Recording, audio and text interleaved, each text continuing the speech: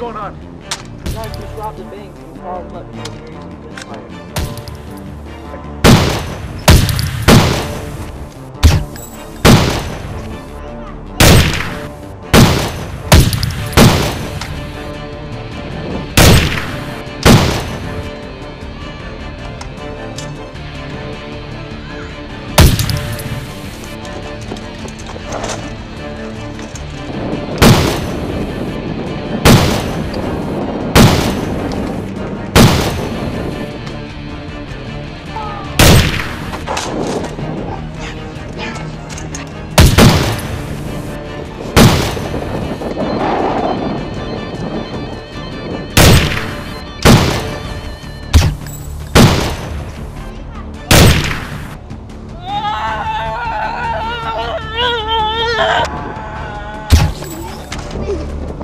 Goes the app.